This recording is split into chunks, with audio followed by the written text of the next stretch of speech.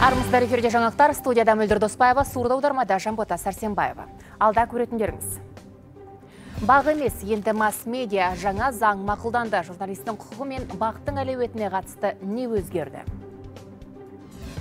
Петропавлда тасқыннан зардап шеккен тұрғындар баспаналы болды. Жаңадан салынған алғашқы 53 жер үйдің кілті табысталды. Биыл турист екі есе көп келді. Алматыда жаңа әуежайдың ашылуымен келуші саны тағы артатыны сөзсіз. Қазақстан несімен қызықтыра алады? Мемлекет басшысы елордадағы ұлттық музейге арнайы барып, өнер туындыларын көрді. Президент қазақстандық талантты қылғалам шеберлерінің туындылары жинақталған дала кескіндемесі, рәміздер, бояулар, бейнелеу бейнелер атты көрмені тамашалады. Сондай ақ Қасым Жомарт Тоқаевқа әйгілі италиялық суретші Леонардо да Винчи салған әдемі ханшайым картинасының түп нұсқасы көрсетілді. Танымал туынды ұлттық музейдің 10 жылдығына орай әкелінген жоғары ренессанс дәуіріне жататын бұл құнды жәдігер Еуропадан тысқар жерге алғаш рет шығарылып отыр. Елорда тұрғындары мен қонақтары бірегей туындыны 4 тамызға дейін тамашалай алады. Қазақстан мен Ресей арасындағы өзара ынтымақтастық одан әрі беки түседі. Мұны Ресей президенті Владимир Путин Санкт-Петерборда өткен экономикалық форумда ақпарат өкілдеріне берген сұхбатында айтты. Ресей басшысы Қасым Жомарт Тоқаев пен достық қарым-қатынасын ерекше атап өтіп, Ресей Қазақстанның солтүстік аймағын газбен қамтамасыз етуге дайын екенін жеткізді. Айтуынша көгілдір отынды Ресейден тарту әлдеқайда жеңіл әрі арзан. Сондай ақ екі ел арасындағы ортақ шекараның маңызына тоқталды. Очень много направлений нашего взаимодействия. Екі мемлекет арасындағы стратегиялық серіктестік пен сауда экономикалық қатынастың маңызы зор. Әрі бұл байланыс жылдан жылға нығайып келеді. Нақтырақ айтсам, екі елдің сауда айналымындағы көрсеткіш жоғары. Сондай ақ энергетика, өнеркәсіп, ғарыш саласында да бірқатар жұмыстар атқарылуда. Қасым Жомарт Тоқаевпен үнемі байланыстамыз. Арадағы сенімді берік қатынас одан әрі жалғасын табады деген үміттемін. Бүгін Сенат масс медиа туралы заңды мақұлдады. Жаңа құжат журналистердің құқығын қорғауға, жергілікті бұқаралық ақпарат құралдарының әлеуетін арттыруға, қазақстандық контентті дамытуға арналған. Заңда нақты қандай өзгеріс бар? Әріптесім Дамир Берікұлы рет-ретімен баяндайды ең алдымен журналистердің құқықтық тұрғыдан қорғалуына тоқталсақ. Мәселен бұрын тілшінің жазған дүниесінен кінәрат тапқандар журналистің үстінен 10 жылға дейін уақытта шағым түсіре алатын. Енді бұл мерзім бір жылға қысқарды. Мақала сюжет жарияланғаннан кейін тура 12 ай өтсе болды оған ешкім арыздана алмайды. Ал бақ өкілі жұмыс бабымен жүріп жарақат алса немесе басқа да қиын жағдайға тап болса оның бар шығынын редакция мойнына алады. Сондай ақ мемлекеттік органдар журналистердің сұрауына мейлінше тез жауап беруге міндеттеліп отыр. Егер де төтенше жағдай жағдай болған кезінде біз енгізіп үш сағат ішінде жауап беру керек. Үш сағаттың ішінде. Егер де мемлекеттік органның мәлімдемесін анықтау үшін я болмаса мемлекеттік органның басшысының сөзін айтқан сөзін анықтау үшін екі күн.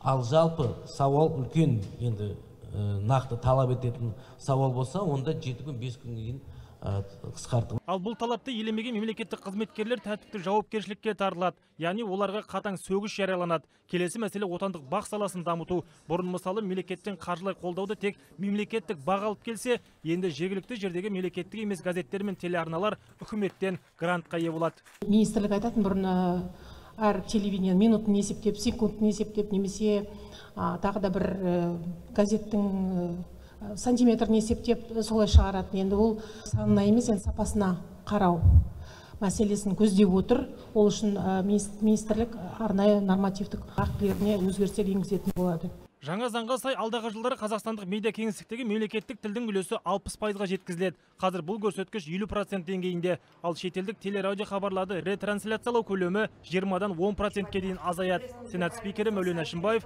қазақ тілді бақты барынша қолдайтын кез келді дейді. Қазақ тілінде балаларға контент жасап жүрген осындай енді мамандарды орталықтарды қолдауымыз керек. Бізде өте жақсы жас мамандар өсіп келе жатыр. Кеше біз оларды да барып көрдік риза болдық. Мен ойлары қандай керемет ұсыныстары қандай тамаша. Сондықтан біз жалпы мемлекеттің тарапынан осындай компанияларға жүйелі түрде бір күндік емес жүйелі түрде көмек беруіміз керек.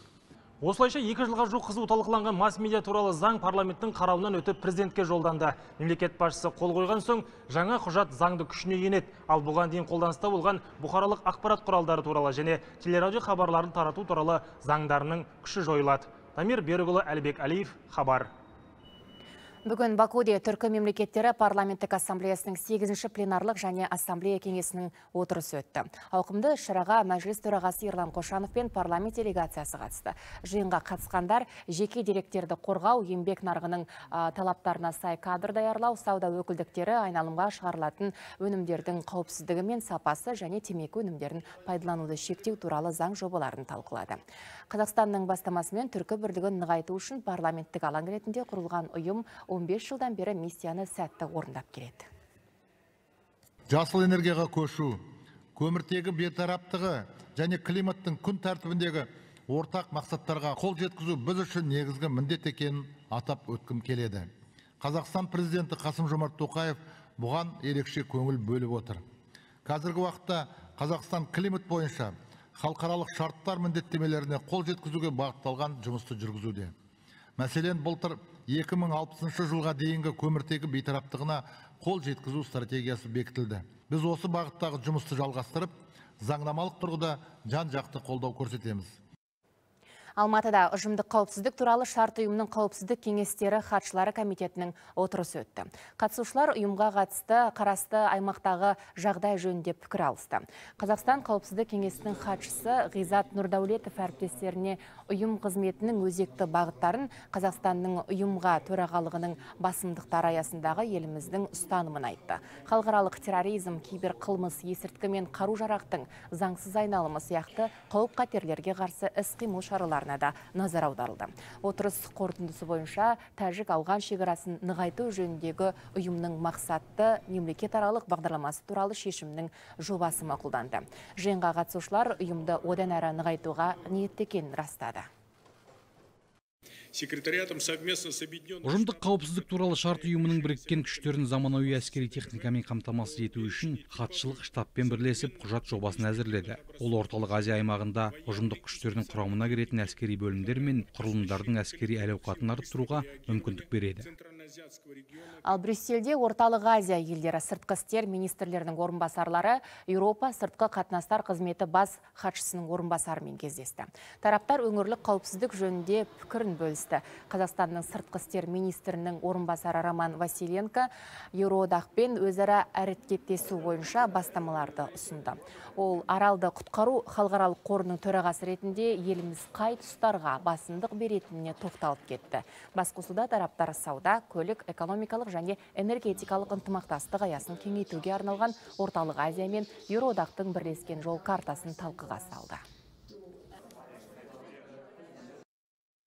Өңірдегі басты серіктесіміз қазақстанмен қатынастарымызды одан әрі нығайтқымыз келеді. Әсіресе энергетика сияқты салада басты әріптесіміз. Қазақстан басшылығы да ынтымақтастыққа жан жақты дайын. Сондықтан болашақта қос тарапты одан әрі жақындастыратын жобаларды жүзеге асырамыз. Қазақстан шет мемлекеттерге сирек металдың 19 түрін экспорттайды, ал Еуропа тарапынан тағы 16 металл түріне сұраныс түсіп отыр. Бұл мәселе бүгін Астанада басталған 14-ші халықаралық таукен металлургия конгресінде талқыланды. Президент Қасым Жомарт Тоқаев сирек металдарды жаңа мұнай деп бағалағаны белгілі. Себебі олар күн санап ұлғайып келе жатқан соңғы технологиялық бұйымдар өндірісіне ауадай қажет. Яғни өндіріс көлемі артқан сайын сұраныста өсе бермек. Дәстүрлі конгресс жұмысына 20 ел елден таукен және металлургия саласындағы іргелі компаниялар қатысып жатыр. Әрқайсысы алдыңғы қатарлы технологияларын таныстырып, өндіріс қарқынын арттыру бойынша тың жобалар ұсынады. Сондай-ақ іс-шара шеңберінде жалпы құны 22 миллиард теңге болатын келісім шарттарға қол қойылады. бүкіл әлемнің экономикасы энергетикалық переход жасап жатыр соны энергетикаға байланысты қазіргі таңда сұраныс өте көп. Ең алдымен қазақстанның рөлі сирек металдармен қамтамасыз ету.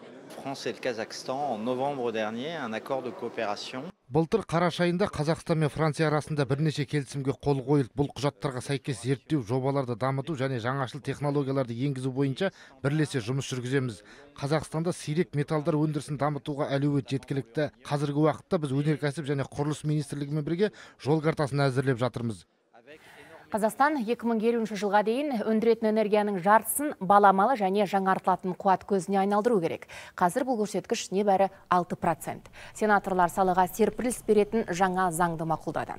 Құжатта нетті тұтынушы ұғымы енгізілді. Яғни жеке тұлға өзін өзі энергиямен қамтып, артылған қуатты саталады. Ол үшін кәсіпкер ретінде тіркелу міндетті емес. Мұндай жеңілдік тек жаңартылатын энергия көздерін өндірушілерге қатысты. Жеке тұлғалар үйлерінің үстіне жеке күн электр нелерін қойып өздерінің тұтынатын электр энергиясын шығынын азайту біріншіден. Екіншіден артық болса оны осы жүйеге сату соны қолдау. Ол жалпы өзі әлемдік қазір бір тақырыпта талқыланып жатқан нәрсе уже дамып жатқан нәрсе. Сондықтан біз де соған келіп осы жеке тариф өсіп жатыр ғой. Сондықтан жеке тұлғалар жаңағы шағын бизнес өзінің шығындарын азайту үшін осындай мүмкіндік болсын деген осындай өзгерістер. Қарағанды облысында Ленин атындағы шахтада қаза тапқан кеншілер ісі бойынша сот үкімі шықты. Төрт басшы қамауға алынды. Олар өндіріс кезінде екі немесе одан да көп адамның абайсызда өліміне әкеп соқтырған қауіпсіздік ережелерін бұзды деп айыпталды. Естеріңізге сала кетсек, 2022 жылдың қараша айында Ленин шахтасында апат болып салдарынан 5 азамат қаза тапқан еді. Төрт жұмысшы жарақат алды. Сот шешімі бойынша айыпталушылар 4 жылдан 5 жылға дейін бас бостандығынан айырылды. Қауіпсіздік техникасы учаскесінің басшысына 5 жыл бас бостандығынан айыру жазасы тағайындалсын және 3 жыл мерзім ішінде тау кен өндірісі саласында лауазымда қызмет атқару құқығынан айырылсын жазаны қауіпсіздігі төмен қылмыстық атқару жүйесінің мекемесінде өтейді Еліміздің тоғыз өңірінде тасқын кезінде 12 жарым мыңға жоқ мал өлген. Басым бөлігі ұсақ мал. Ал 139 мыңнан астамы қауіпсіз жерге көшірілді. Жауапты министрлік өтемақы беру алгоритмін бекітті. Жалпы ел қазынасынан 2 миллиард 400 миллион теңге қаржы бөлінді. Қазір халықтан өтінім қабылданып жатыр. Одан бөлек Сібір жарасы көмілген 12 орын мен 8 мал қорымы су астында қалған еді. Министрлік ветеринарлық зертханамен бірлесіп топырақ сынамаларын алды. Оның нәтижесі теріс болып шықса да, барлық қорымдар зарарсыздандырылды. Мәселен, қазір 23 ауруға қарсы екпе егу жүргізіліп жатыр, ал ауыл шаруашылығы жануарларына 26 аса қауіпті ауру бойынша 75 миллион диагностикалық зерттеу жүргізу жоспарланған. 400 жеке және заңды тұлға ветеринарлық санитарлық талаптарды бұзған үшін әкімшілік жауапкершілікке тартылды. Бүкіл малды есептеген уақытта бізде 9 миллионға жуық ірі қара бар 24 миллионға жуық біздің қой ешкіміз бар соның бәрін есептегенде 4 миллионға жуық жылқымыз бар соның бәрін есептегенде 178 миллион манипуляция жасауымыз керек деп тұрмыз. Соның бүгінгі таңда 69 миллион жасадық 68 жаңағы мал ауру қазақстанда тіркелген қазір енді жиырма үш қалған Петропавлда тасқыннан зардап шеккен тұрғындар баспаналы болды. Оларға жаңадан салынған алғашқы 53 жер үйдің кілті табысталды. Бұл баспаналардың құрылысына Қазақстан халқына қоры аймақты қомақты қаржы бөлді. Қоныс тойын тойлаған отбасылардың қуанышына аймақтағы тілшіміз Айдарбек Айтмұхамбетұлы да ортақтасып қайтты. Қала тұрғыны Оразғали Әлдекеевтің қуанышында шек жоқ. Бүгін ол отбасымен бірге жаңа қонысқа жайғасып жатыр. Мүгедектігі бар зейнеткердің бұрынғы баспанасы суға кетіп, апатты деп танылған еді. Президенттің сөзі далаға қалған жоқ. Міне әрбір отбасына көмек көрсетеміз деген сөзі бүгін міне іске келіп отыр. Қандай қандай жақсы міне жұмақта үй алып отырмыз. Өте қуаныштымыз. Үйдің іші жақсы, өте жақсы. Көктемгі тасқыннан зардап шеккен тағы елуден аса отбасы осындай қуанышқа кенелді. Петропавлда оларға жаңадан салынған жер үйлердің кілті табысталды. Салтанатты шара барысында тұрмыстық техника мен жиһаздарға да бір-бір сертификат берілді. Мемлекет басшысының тапсырмасына сай жаңа үйлер салынуда. Қаржы бөлген демеушілерге және тез арада баспананы тұрғызған құрылысшыларға алғыс айтамын жаңа үйде тек береке мен бақыт орнасын қоныс құтты болсын Бұл үйлер 5 аптаның ішінде дайын болды. Әрқайсысы 80 шаршы метрден. Петропавлда күзге дейін дәл осындай 700 үй бой көтереді. Қалған тұрғындарға демеушілердің көмегімен пәтер сатып алынады. Енді бұл бірлік ықшам ауданы деп аталады. Бұл жерде үйлерден бөлек спорт және ойын алаңдары салынды. Сонымен қатар демеушілердің көмегімен 80 балаға арналған балабақша бой көтереді. Айдарбек айтмұхамбетұлы қуаныш қазбеков петропавл хабар Ең көп сұранысқа ие туристік бағыт бойынша 119 елдің ішінен 52-ші орындамыз. Бұл дүниежүзілік экономикалық форумда айтылған мәлімет. Ендігі мақсат елу елдің қатарына қосылу дейді сала мамандары. Келушілерді әсіресе экотуризм қызықтырады екен. Өткен жылы елімізге 9,2 миллион шетелдік саяхаттап келген екен. Бұл алдыңғы жылмен салыстырғанда екі есе көп. Ал ел ішінде саяхаттаған азамат саны 10 миллионға жуық. Осылайша бюджетке салық түрінде 450 миллиард теңге пайда түскен. Жуырда ғана ашылған Алматы әуежайындағы терминалдың өзі сырттан келетін турист санын көбейтеді. Сондай-ақ осы жазда Алматы мен Астанадан Алакөл мен Балқашқа ұшатын коммерциялық рейстердің саны артып, Үржар Алматы Үржар бағытында 22 субсидияланған әуе рейсі ашылады.